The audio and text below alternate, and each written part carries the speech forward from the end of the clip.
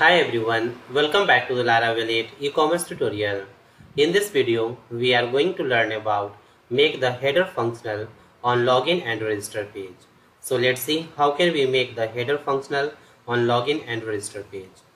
You can see here this is the home page and here uh, inside the header this search box and this icon uh, list and uh, cart icon these all are working okay if I search anything inside the search box like I'm just going to type here AC and press enter and here you can see the search result okay? And also this uh, list wish list icon and this cart icon these all are working okay? But if I click on login link and you can see here this is the login page and in this page you can see here uh, these are not workings okay? This uh, list and this cart and also uh, this search box these all are not working. Okay if I type anything here and press enter it's not working. Alright so let's make these things working. So for that uh, switch to the project. And uh, first of all uh, let's create a component class. So just go inside the app directory. Then uh, views components and inside the component directory uh, let's create a new file and file must be uh, base layout.php okay? And now let's open this file. And now let's open the guest layout.php uh, file. And from this file uh, let's uh, let's select all the text and copy.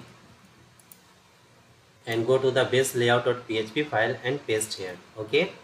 Now change here the class name and just remove this guest and uh, write here the name base okay base layout and also change here the view name layouts dot base okay. Now save this file. Now just close this.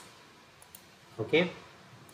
Now go to the resources directory and then views auth and from here let's open the login.blade.php file. Okay.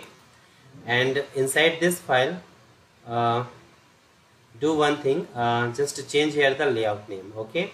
So just remove this guest and add here the layout name which is base okay?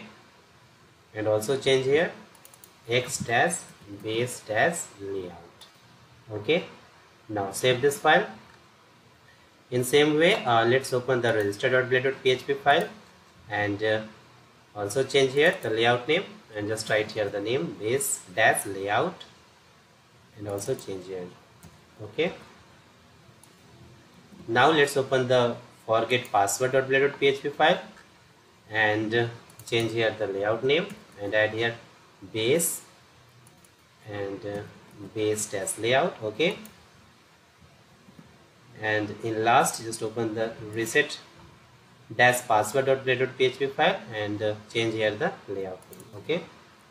Base dash layout and here x dash base dash layout. Okay? Now save all. Okay? Now it's done. So let's check this. So switch to the browser. And now just refresh the page. Okay? This time you can see here in wish list two item and here it's showing the uh, one item in cart and if I click on wish list and you can see here it's working now. Go back. Now click on cart it's also working. And uh, if I search anything in uh, this search box like this one and this time you can see here the search result. Alright now uh, on header everything is working. In login page and also if I check on register page if I search here and let's here like this okay and you can see here the search result okay. So in this way you can make the header function functional on login and register page. So that's all about make the header functional on login and register page. So thanks for watching this video. And if you still have any kind of question you can ask me in the comment box. Don't forget to subscribe my channel. Thanks for watching.